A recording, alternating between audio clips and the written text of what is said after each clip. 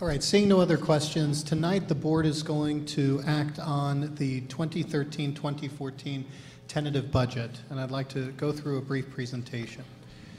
First, in terms of the calendar, what we've been up to over the past um, few months, this process begins in October, and uh, with all of our budget managers developing budgets at their at their level. Then in, in December, I and, uh, Mr. Mahmood go through it. Uh, we utilize the um, committee process, so the board has an opportunity to explore each of the areas that, um, that they're responsible for.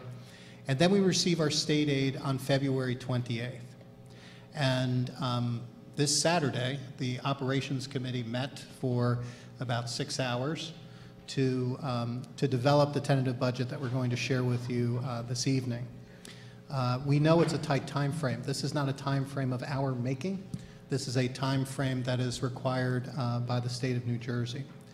Uh, tonight, uh, the board will be considering the tentative budget. On March 13, the Operations Committee will meet again to um, present a finalized budget based upon any feedback that they receive at this meeting to the board for action on the final budget on March 21st. At that point, that's our public hearing, and the board will finalize our budget. Um, as all of you may remember, we do not have a school budget election any longer, and the action that's taken on March 21st will be final in our district. So, in terms of the program improvements, how we're funding our strategic plan, what's included in this budget is um, the expansion of the Chinese program to um, both Aris and the high school. We're going to be implementing the third phase of our one-to-one uh, technology pilot, which allows students to have an individual device, either an iPad or a Chromebook, to have with them during all of their instructional uh, activities, as well as take it home. Currently, we have 10% of the students at Aris, the middle school and the high school, have these devices. We'll be doubling it for next year, 20%. We'll be implementing a new teacher and administrator evaluation model. This summer, a new law was passed called NJ Teach, or Teach NJ, and that law required a change in all um, teacher and administrator evaluations, and we'll be implementing that next year. We're also going to be considering an energy savings improvement plan, which allows us to do large capital improvement projects and finance it with the energy savings that those things will generate without raising taxes or asking to pass a referendum. We are currently under a, uh, a uh, legal cap of the tax levy. We cannot raise it any higher than 2% from the previous year. 2% of this past year's general fund tax levy uh, is $1.5 million. This proposed, um, or this tentative budget is coming in at $425,000 below that. In terms of how this affects the tax rate, the tax levy is increasing by, um, by about a half of a percent. The 2012-2013 um, tax levy is, is, is there, and you can see the, the increase um, to next year's tax levy. And by the way, that includes general fund as well as debt service. The tax rate will be 1.467. That's on $100 of assessed property value, which is about a, a penny and a half increase off of last year's tax rate. What does that mean in terms of dollars? The average homeowner is assessed in Hillsborough Township at $368,700. The increase would be $53 for the year.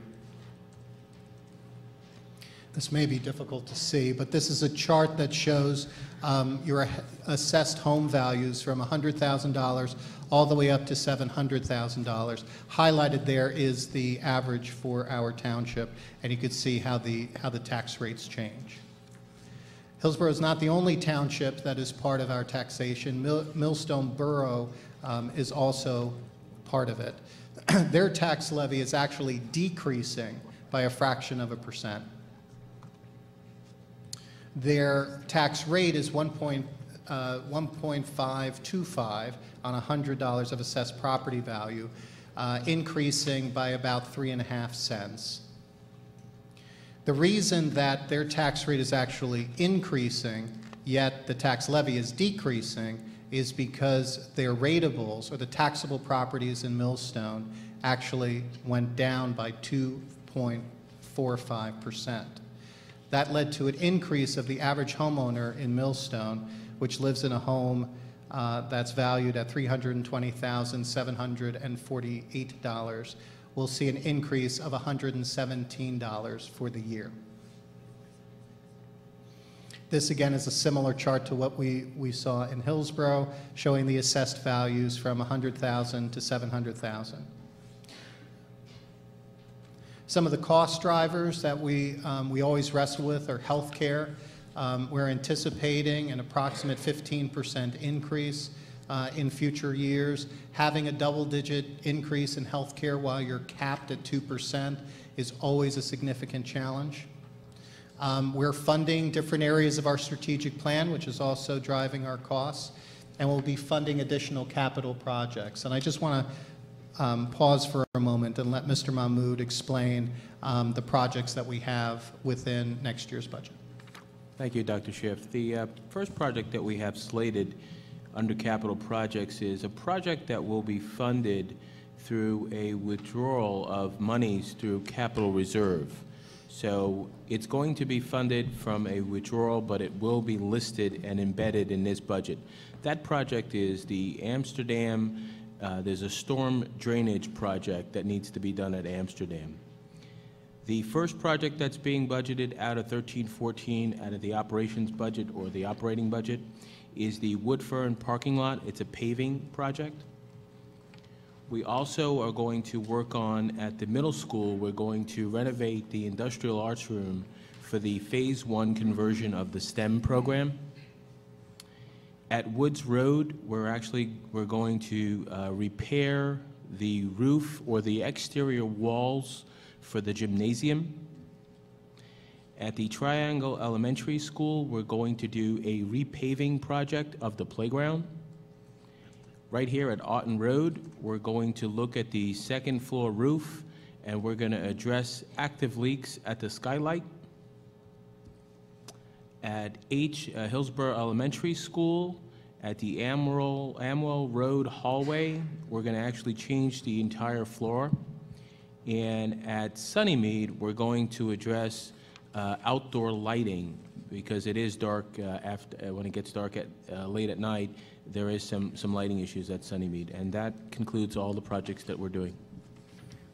Thank you, Mr. Mahmood. Just to give a, a little bit more uh, meat to the scaffolding on funding of the strategic plan, we plan on hiring two additional Chinese teachers, one for the high school, one for Aris School. Um, two additional special education positions, as well as um, a few job coaches, which are instructional aid positions to help our um, some of our children transition well into um, into vocational activities. We are also looking at funding two additional tech positions that help out with software and hardware issues, as well as three training positions for for technology. Uh, these are positions that will help us to address our um, strategic planning needs. We also have within the budget uh, additional clerical positions, including a um, uh, clerical support and transportation, as well as curriculum, and, uh, and in the athletic office as well. Some areas of cost savings. Now, even though cost healthcare was a cost driver, uh, this particular year we changed healthcare providers as a result of doing that, uh, saving the, um, the taxpayers a, a, good amount of money um, without compromising healthcare coverage for our employees. We uh, do every year shared services and cooperative purchasing to make sure that we are using our funds efficiently. And we continue to generate revenue through grant writing as well as a very successful program for our kindergarten students called Children at Play. Um, this will be the second year. We actually increased uh, enrollment. We, we almost doubled enrollment year two from year one, and we're anticipating going from about 56 kids close to 80 children next year. So um, that helps to offset other costs. But the largest efficiency that we'll be seeing is um, the efficiency in transportation. Our transportation director worked with, um, worked with Mr. Mahmood and others in, in developing a transportation efficiency report. That uh, efficiency report was presented to the Board of Education and adopted. Um, The change that occurred as, as a result of this report was that the middle school will be starting a half an hour earlier. Just by moving that school a half an hour earlier allows us to save close to $900,000 over next year. What I have in front of you is an analysis of state aid over the past five years. In the year 2009 2010, our state aid was $26.2 million. Then there was a fiscal crisis in the state of New Jersey and a significant reduction in state aid. It went from 26.2 to 21.1. That's close to a 20% reduction. As a result of that reduction, we uh, released 66 staff members that year. In 2011, 2012, we began to come back up at 23.2 million. Last year, or I'm sorry, current year budget, we had about 25 million, and then for all intents and purposes, we are flat for um, this year. Um, This illustrates that we are still below where we would have been in 2009, 2010. The board is always interested, I'm sure the public is too, at looking at comparative data.